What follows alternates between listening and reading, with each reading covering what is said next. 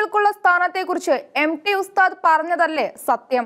അതാണ് സത്യമെന്ന് ലീഗ് നേതാവ് നവാസ് മാത്രമല്ല മുസ്ലിം സുന്നി യുവജന സംഘടനാ പ്രസിഡന്റ് സത്താർ പന്തലൂരും വ്യക്തമാക്കുന്നു. ഇസ്ലാമിലെ സ്ത്രീകളുടെ സ്ഥാനത്തെക്കുറിച്ച് പറയാൻ അവകാശമുള്ള ആളാണ് അദ്ദേഹം എന്നതിന് അദ്ദേഹം നടത്തിയിട്ടുള്ള വർഗീയ വിഷം ചീറ്റുന്ന പ്രസ്താവനകൾ തന്നെ സാക്ഷിയാണ്. പാല മെത്രാനെതിരെ പറഞ്ഞ പരാമർശത്തിന് അര ഡസനോളം കേസുകളിൽ പ്രതിയാണ് സത്താർ എന്നതും ഒരു കേസിലും പോലീസ് കാര്യമായ നടപടി എടുത്തിട്ടില്ലെന്നതും സത്യമാണ്. സ്ത്രീകൾ പൊതുവേദിയിൽ പ്രത്യക്ഷപ്പെടരുതെന്ന് തന്നെയാണ് ഇസ്ലാം നിയമം എന്ന് സത്താർ വ്യക്തമാക്കുന്നു. അതുകൊണ്ടാണ് മുഖം മറിച്ചുള്ള ഹിജാബ് പോലുള്ള വസ്ത്രങ്ങളെന്നും അദ്ദേഹം ന്യായീകരിച്ചു. ഇത്തരം വസ്ത്രങ്ങൾ ധരിക്കുന്ന നാട്ടിൽ സ്ത്രീ പീഡനം ഇല്ലെന്നും സത്താർ അവകാശപ്പെടുന്നു. ഇസ്ലാം മതത്തിൽ സ്ത്രീകൾക്കുള്ള സ്ഥാനത്തെക്കുറിച്ച് പറയേണ്ടത് അവരുടെ ഉസ്താദുമാരും വിശ്വാസികളുമല്ലേ? അല്ലാതെ നിരീശ്വരരായ ഇടതുപക്ഷക്കാരും ഇസ്ലാമിക വിശ്വാസ ജീവിതം തങ്ങൾ പറയുന്നതാണെന്ന് അവകാശപ്പെട്ട് തോന്നിയാസം ജീവിക്കുന്നവരുമാണോ? ഇത്തരക്കാർ സമൂഹത്തിൽ എത്ര ഉന്നത പദവി വഹിക്കുന്നവരായാലും അവർ പറയുന്നവ കേൾക്കാൻ എത്ര ഇമ്പകരവും പുരോഗമനപരവുമായാലും അതാണ് യഥാർത്ഥ ഇസ്ലാമിക നിലപാട് എന്ന് ആര് കരുതും? ഉസ്താദുമാരും ഒപ്പം നിൽക്കുന്നവരും പറയുന്നതല്ല യഥാർത്ഥ ഇസ്ലാമിക നിലപാടെന്ന് തീരുമാനിക്കുവാൻ. എല്ലാം തങ്ങളുടെ കച്ചവടം കൊഴിപ്പിക്കുവാനായി കൊണ്ടാടുന്ന മാധ്യമങ്ങൾക്ക് എന്തവകാശം? ഈ നിലപാടുകൾ നല്ലതോ വിനാശകരമോ എന്ന് പറയുവാൻ അവർക്ക് ഇന്ത്യൻ ഭരണഘടന നൽകുന്ന അവകാശവും ആർക്കും ചോദ്യം ചെയ്യാനാവാത്തതാണ്. കാലത്തിനും നാടിനും അനുസരിച്ച് രൂപാന്തരങ്ങൾക്ക് തയ്യാറായ ഇസ്ലാം മതം ഇന്ന് ഏഴാം നൂറ്റാണ്ടിലെ ഖലീഫമാരുടെ കാലത്തേക്ക് മടങ്ങുന്നതിന്റെ സൂചനകളാണ് ലോകത്താകമാനം കാണുന്നത്. അൽ അസ്ഹർ സർവകലാശാല കേന്ദ്രമായി ആരംഭിച്ച ഇസ്ലാമിക പുനരുജ്ജീവന ശ്രമങ്ങൾ ഉയർത്തിവിട്ട സൽഫി വാഹുബി ആരാധനകളാണ് ലോകത്തെമ്പാടുമുള്ള മുസ്ലിമുകളിൽ ശക്തമാകുന്നത്. അമ്പത് വർഷം മുമ്പില്ലായിരുന്ന ഹിജാബും ബുർക്കയും അടക്കമുള്ള വേഷങ്ങൾ മുസ്ലിമുകൾക്കിടയിൽ വ്യാപകമാകുന്നതടക്കമുള്ള അടയാളങ്ങൾ അതിന്റെ സൂചനകളാണ്. പൊതുസമൂഹവുമായി കഴിഞ്ഞിരുന്ന മുസ്ലിമുകൾ കടുത്ത മതപക്ഷവാദിത്വത്തിന്റെ ഒറ്റയകാലിലേക്കും മടങ്ങുന്നു. ശരിയത്തും ഹലാലും ഹറാമുമെല്ലാം സാധ്യമാകുന്ന പഴുതുകൾ എല്ലാം ഉപയോഗിച്ച് പൊതുസമൂഹത്തിൽ നിർബന്ധമാക്കുവാൻ നോക്കുന്നു. തീവ്രവാദ നിലപാടുകൾക്ക് സോഷ്യൽ മീഡിയയിൽ പ്രതിരോധവും സംരക്ഷണവും ഒരുക്കുന്നവർ വർദ്ധിക്കുന്നു. ഈ നവധ്രുവീകരണം ഇതര സമുദായങ്ങളിൽ ഭീതിയും വർഗീയമായ ചിന്തകളും വളർത്തുന്നു. ഉസ്താദുമാരും അവരെ പിന്താങ്ങുന്നവരും പറയുന്ന നിലപാട് പുരോഗമനപരമാണോ? ഇന്ത്യയിലെ ഭരണഘടനയ്ക്ക് നിരക്കുന്നതാണോ എന്നതെല്ലാം വേറെ ചോദ്യങ്ങളാണ്. ഭരണഘടന അനുവദിക്കുന്ന അവകാശങ്ങൾ സ്ത്രീകൾക്ക് നിഷേധിക്കുന്നവയാണ് ഇത്തരം നിലപാടുകളെങ്കിൽ അത് നിയമപരമായ കുറ്റമാണ്. അത്തരം നിലപാടുകൾ പ്രചരിപ്പിക്കുന്നവർക്കെതിരെ നടപടി സ്വീകരിക്കേണ്ടത് സർക്കാരും സർക്കാർ സംവിധാനങ്ങളുമാണ്. പെൺകുട്ടികളുടെ അവകാശങ്ങൾ നിഷേധിക്കപ്പെടുമ്പോൾ വനിതാ കമ്മീഷനും കുട്ടികളുടെ അവകാശങ്ങൾ ലംഘിക്കപ്പെടുമ്പോൾ ബാലാവകാശ കമ്മീഷനും നടപടിയെടുക്കേണ്ടതാണ് നാടിന്റെ ഭരണം പിടിച്ചെടുക്കുവാൻ രൂപീകരിക്കപ്പെടുന്ന രാഷ്ട്രീയ പാർട്ടികൾ അത്തരം നിലപാടുകളുമായി എത്തുമ്പോൾ ഉസ്താദുമാരുടെ നിലപാടിനേക്കാൾ ആ മനോഭാവം ഭയാനകമാവുന്നുണ്ട്. ഭരണഘടനയാണോ ശരിയായ നിയമമാണോ വലുത് എന്ന ചോദ്യം ഇത്തരം സാഹചര്യത്തിലാണ് പ്രസക്തമാകുന്നത്. ശരിയ നിയമമാണ് വലുതെന്ന് വാദിക്കുന്നവർക്ക് ഉസ്താദുകൾ പറയുന്നതാണ് വലുത്. അവർ അതനുസരിച്ചാവും ജീവിക്കുക. അവർക്ക് അങ്ങനെ ജീവിക്കാൻ ഭരണഘടന അനുവാദം നൽകുന്നു എന്ന് വരെ അവർ വാദിക്കുന്നു. മലപ്പുറം ജില്ലയിലെ രാമപുരത്ത് പാതിരമണ്ണയിൽ ദാറുൽ ഉലം മദ്രസയുടെ പുതിയ മന്ദിരത്തിന്റെ ഉദ്ഘാടന വേളയിൽ പത്താം ക്ലാസ് വിദ്യാർത്ഥിനിയെ സർട്ടിഫിക്കറ്റും ഫലകവും വാങ്ങുന്നതിനായി വേദിയിലേക്ക് ക്ഷണിച്ച സംഭവവും അതിനോട് വേദിയിലെ പ്രമുഖനായിരുന്ന സമസ്ത കേരള ജമയത്തുള്ള ഉലൈമ നേതാവ് എം ടി ഉസ്താദ് എന്ന് വിളിക്കപ്പെടുന്ന എം ടി അബ്ദുള്ള മുസ്ലിയാർ വലിയ കോപത്തോടെ പ്രതികരിച്ചതും അതേ പേടി പകർത്തപ്പെട്ട് സോഷ്യൽ മീഡിയയിലെത്തി. സംഭവം ലോകമാകെ കണ്ടു. മെയ് ഒമ്പത് പത്ത് തീയതികളിൽ പറഞ്ഞ ഈ വിവാദ വീഡിയോയെ കുറിച്ച് സമസ്ത ഇതുവരെ ഒരക്ഷരം പ്രതികരിച്ചിട്ടില്ല. ഇന്ത്യൻ യൂണിയൻ മുസ്ലിം ലീഗിന്റെ മലപ്പുറം ജില്ലാ പ്രസിഡന്റ് പാണക്കാട് അബ്സാലി ശിഹാബ് തങ്ങളായിരുന്നു സമ്മാനദാനം നിർവഹിച്ചത്. ആദ്യം ക്ഷണിച്ചത് ഒരു ആൺകുട്ടിയായിരുന്നു. അതിനുശേഷമാണ് പെൺകുട്ടിയെ ക്ഷണിച്ചത്. മുസ്ലിം മതാചാര പ്രകാരമുള്ള മൂടുപടമെല്ലാം ധരിച്ച് മാസ്കും ധരിച്ച് ആ പെൺകുട്ടി സ്റ്റേജിലേക്ക് വന്നതോടെ വേദിയുടെ വലത്തുവശത്തായിരുന്ന ഉസ്താദ് വേദിയുടെ മധ്യത്തിലേക്ക് പറന്നെത്തി. അദ്ദേഹം കോപത്തോടെ ചോദിച്ചു ആരാണ് പത്താം ക്ലാസ് വിദ്യാർത്ഥിനിയെ വേദിയിലേക്ക് ക്ഷണിച്ചത്? രക്ഷകർത്താവിനെ വിളിച്ചാൽ പോരായിരുന്നോ. ഞങ്ങളെ വേദിയിലിരുത്തി എന്തും ചെയ്യാവുന്നാണോ ഞാനല്ല കുപിതനായ ഉസ്താദിനോട് ആരോ വിളിച്ചു പറഞ്ഞു. പേടിച്ചു വരേണ്ട കുട്ടി സമ്മാനവും വാങ്ങി വേഗം വേദി വിട്ടു. ഇനി ഇങ്ങനെ ചെയ്താൽ കാണിച്ചു തരാം. നിങ്ങളെ ഒരു പാഠം പഠിപ്പിക്കുന്നുണ്ടെന്നെല്ലാം അദ്ദേഹം പുലമ്പുന്നുണ്ടായിരുന്നു. പാണക്കാട് അപ്സാലി തങ്ങൾ എല്ലാം കണ്ട് സുസ്മേര വദനനായി വേദിയിൽ നിന്നു. അദ്ദേഹം ആരെയും വിലക്കിയില്ല. എം ടി ഉസ്താദ് സ്വീകരിച്ച സമീപനത്തെ പുരോഗമനവാദികൾ രൂക്ഷമായി വിമർശിച്ചു. അവരിൽ കേരളത്തിലെ ഗവർണർ ആരിഫ് മുഹമ്മദ് ഖാനും സാമൂഹിക നിരീക്ഷകനായ എം എൻ കാരശ്ശേരിയുമൊക്കെ ഉണ്ടായിരുന്നു. പരസ്യമായി അപമാനിക്കപ്പെട്ട ആ പെൺകുട്ടിക്ക് വേണ്ടി കേരളം ശബ്ദിക്കാത്തതിലും അപമാനിച്ചവർക്കെതിരെ കേസെടുക്കാത്തതിലും അദ്ദേഹം ആശ്ചര്യം പ്രകടിപ്പിക്കുകയും ചെയ്തു. ഉസ്താദിന്റെ നിലപാടിനെതിരെ രൂക്ഷമായ വിമർശനമുയർന്നു ഏറെയും. എന്നാൽ കേരളത്തിലെ വനിതാ കമ്മീഷൻ വാ തുറന്നത് മൂന്നാം പക്കമാണ്. ബാലാവകാശ കമ്മീഷനും ആദ്യ മൂന്ന് ദിനം വാ തുറന്നില്ല. പിന്നെ സ്വമേധയ കേസെടുത്തു.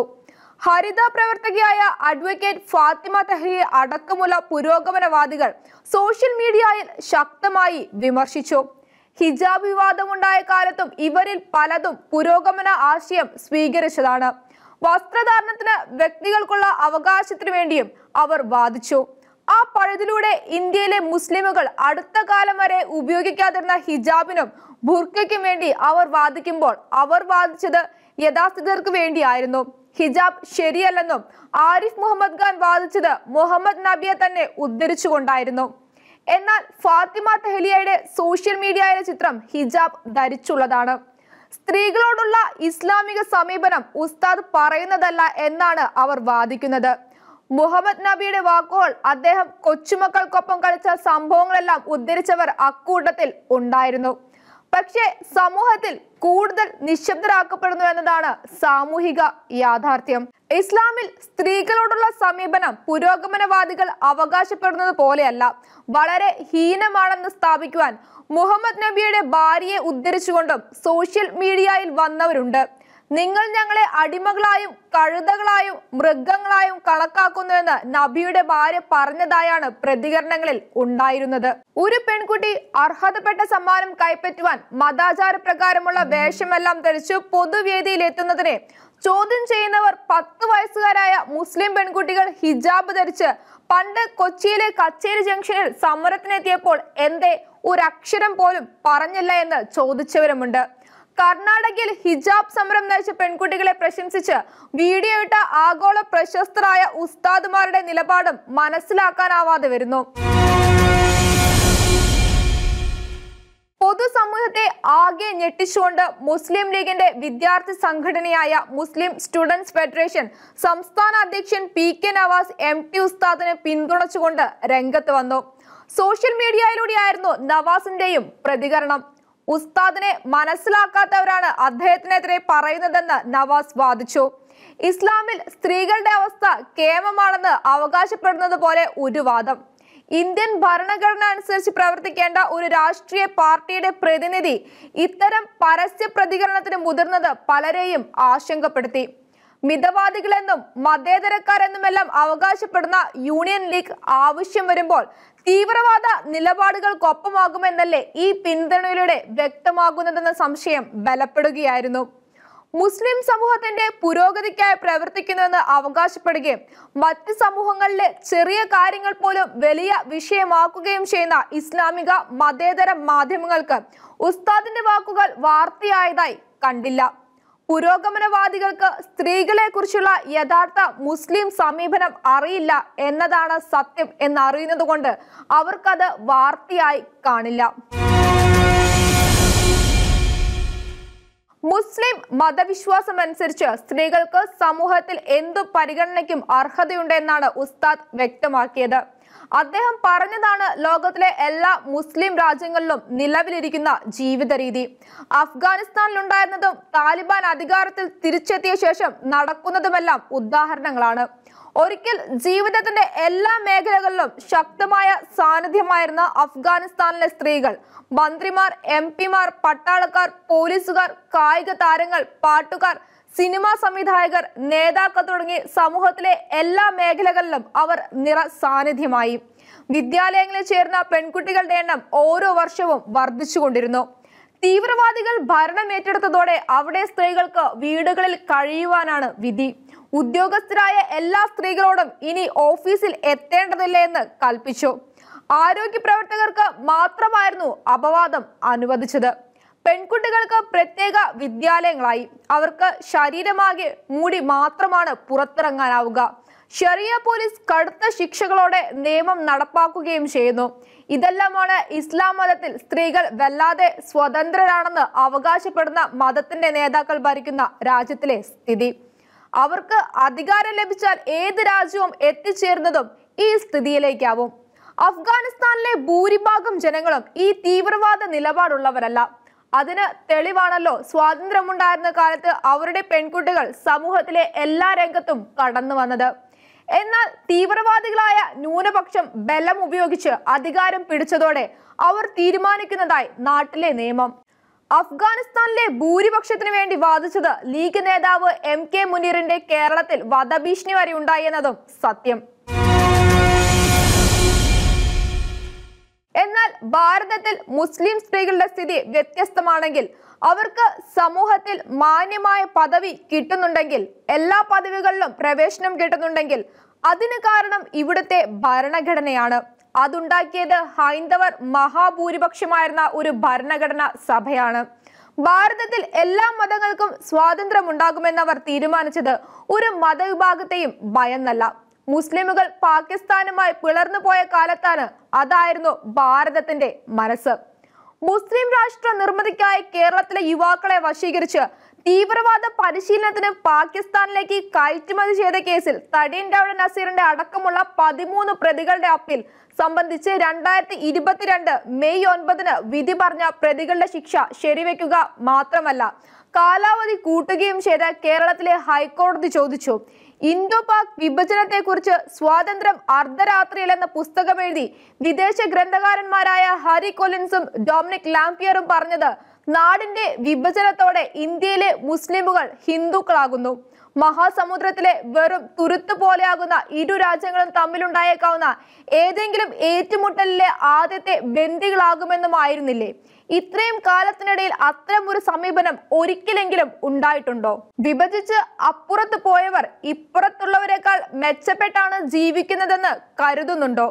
ആ പാകിസ്ഥാനിലേക്ക് പരിശീലനത്തിന് അയക്കുവാനാണ് ഇവർ യുവാക്കളെ തെരഞ്ഞെടുത്തത്. വിധിന്യായത്തിൽ കോടതി എഴുതി സഹോദരങ്ങളെയും സഹപൗരന്മാരെയും കൊന്ന് സ്വർഗീയ പർദീസയുടെ മധുരം നുകരുവാനായി അഞ്ച് യുവാക്കൾ ഭൗമിക പർദീസയിലേക്ക് യാത്ര തിരിച്ചു. അതിന്റെ ദൂതന്മാരാകുന്നതിന് മുമ്പ് തന്നെ മരണം വരിച്ചു. അവർ സ്വർഗം നേടിയാലും ഇല്ലെങ്കിലും അതിലൂടെ സങ്കടക്കടലാവുകയും അപമാനമാരം പേറുകയും ചെയ്യുകയല്ലേ?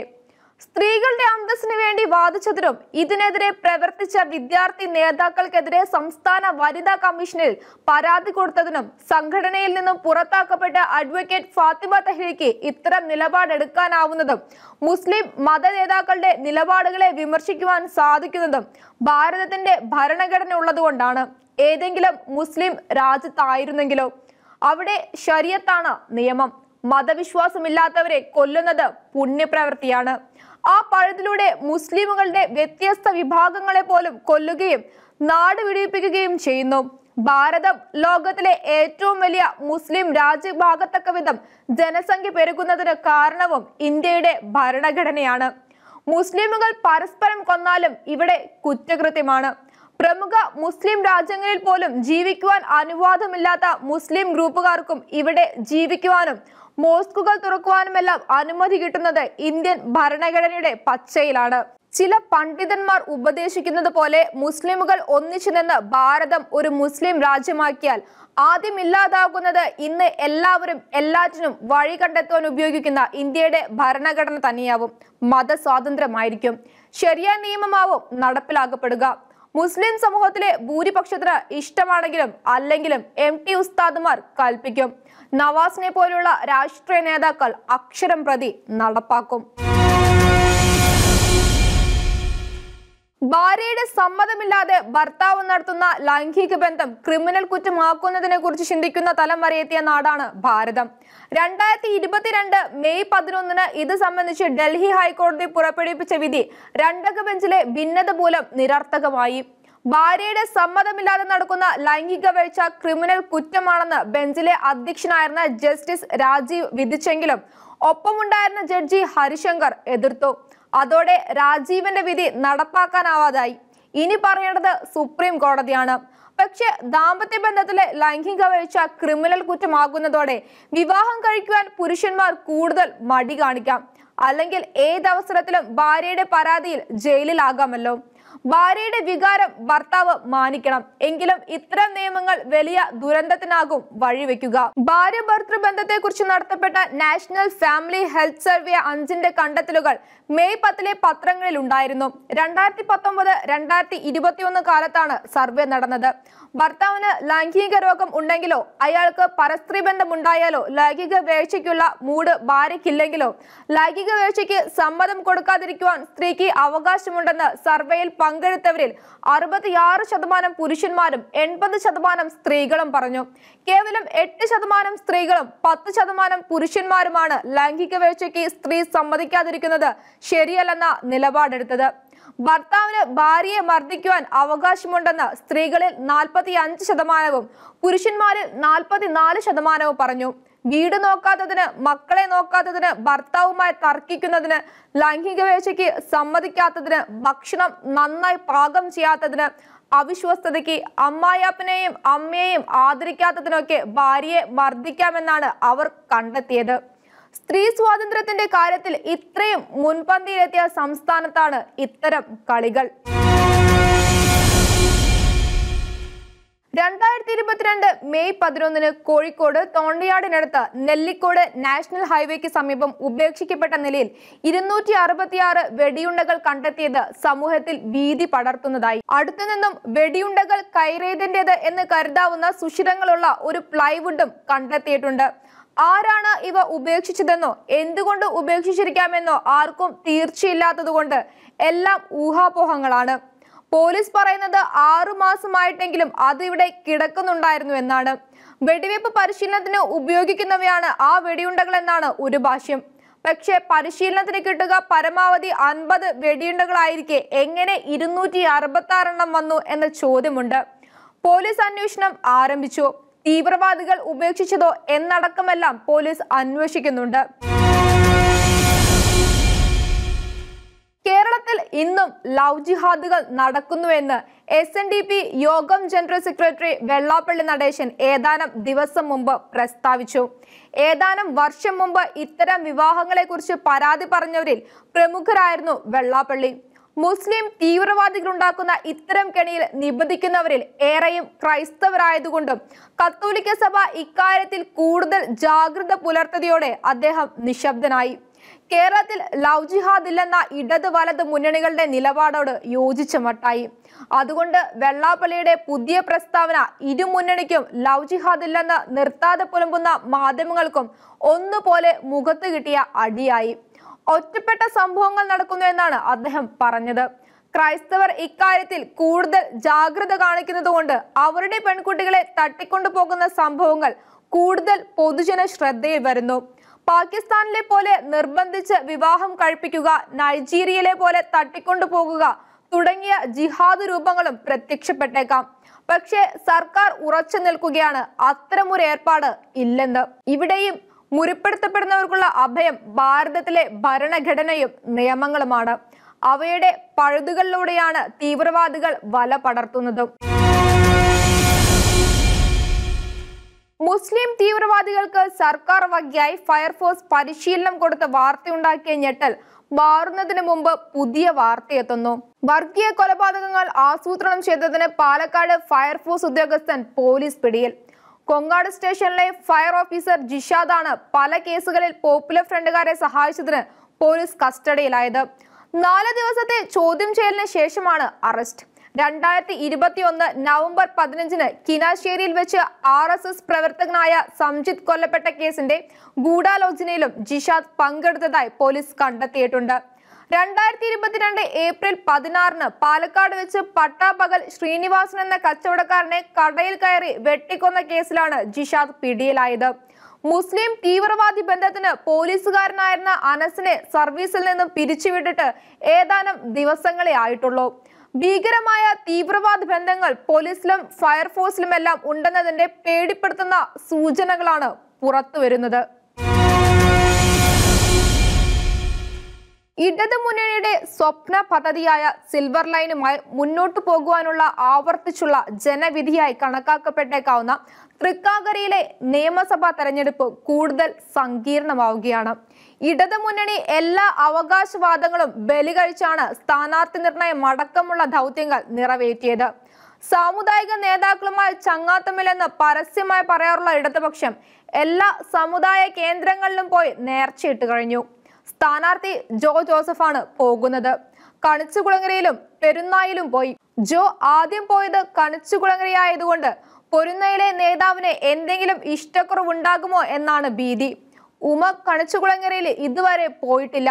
ശ്രീനാരായണ സന്ദേശങ്ങൾക്ക് ദേശീയ പ്രസക്തി ഉണ്ടാക്കുവാൻ പി ടി തോമസ് ചെയ്ത സേവനം നാരായണീയർ മറക്കില്ലെന്ന് ഉമയും കൂട്ടരും വിശ്വസിക്കുന്നു. ഇരുപക്ഷത്തെയും സ്ഥാനാർത്ഥികൾ ഉയർത്തുന്ന തെരഞ്ഞെടുപ്പ് വിഷയങ്ങൾ തിരിച്ചടി ഉണ്ടാക്കുമോ എന്ന നിരീക്ഷകർക്ക് സന്ദേഹവുമുണ്ട്. സഹതാപ തരംഗം വിഷയമാക്കിയാണ് കോൺഗ്രസ് സ്ഥാനാർത്ഥിയെ നിശ്ചയിച്ചത്. അന്തരിച്ച പി ടി തോമസിന്റെ ഭാര്യ ഉമ പി ടി തോമസിന്റെ സ്വപ്നങ്ങൾ സാക്ഷാത്കരിക്കുവാനാണത്രേ മത്സരിക്കുന്നത്. ആവർത്തിക്കും തോറും ആ ന്യായം മടുപ്പുണ്ടാക്കുന്നുണ്ട്. പാലായിൽ മാണിയാണ് സ്ഥാനാർത്ഥി എന്ന് പറഞ്ഞ് മത്സരിച്ച കേരള കോൺഗ്രസുകാരുടെ ഓർമ്മയും അതുണർത്തുന്നു. രാഷ്ട്രീയത്തിൽ കുടുംബവാഴ്ച പാടില്ലെന്ന തോമസിന്റെ സ്വപ്നം മറന്നുകൊണ്ടാണ് ഈ സംഘഹർജിയെന്ന് ഓർക്കുക. ജോ ജോസഫ് കമ്മ്യൂണിസ്റ്റ് സിൽവർ ലൈനിന് വേണ്ടിയാണ് വോട്ട് ചോദിക്കുന്നത്. സിൽവർ ലൈനിന്റെ ഓർമ്മകളാവും ജോക്കി വോട്ട് നൽകുന്നതിന് വിരോധമാവുകയും വരുന്ന ഏറ്റവും വലിയ വിഷയം. കെ വി തോമസിനെ കൂടെ കൂട്ടുന്നത് ഇടതിന് ഗുണം ചെയ്യില്ലെന്നാണ് ജനാധിപത്യ മുന്നണി വിശ്വസിക്കുന്നത്. ഇത്രയേറെ വാരിക്കോരി കൊടുത്ത പാർട്ടിയോട് അദ്ദേഹം കാണിക്കുന്ന നന്ദികേട് ജനം മനസ്സിലാക്കുമെന്നവർ വിശ്വസിക്കുന്നു.